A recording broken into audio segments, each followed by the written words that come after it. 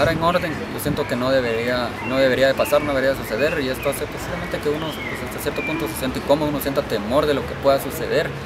Lo que a mí me tiene tranquilo es que mi historial de, de las pruebas de doping están, están en orden. Como decía, yo me puedo someter a una prueba de doping en el momento que, quieran, que le puede pedir Guatemala si quiere y igual estoy dispuesto a ir aunque sea con tal de probar que realmente no es por, una, no es por las pruebas o no es por, por caso de dopaje, sino es por sencillamente se envía tarde paradero que a la larga se toma también como, como una falta.